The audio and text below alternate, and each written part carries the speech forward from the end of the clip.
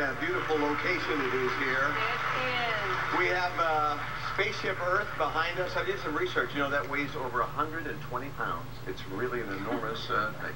Uh, we always have a great time here at Walt Disney World. We want to thank all the good folks for making it so much fun. It really is the happiest place on earth. It is. We're always delighted to be here. So uh, that's it. So long. Bye. See you soon. Bye-bye. Remember, we love you. Wow.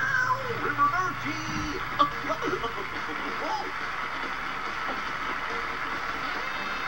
Consideration provided by Consumer Cellular.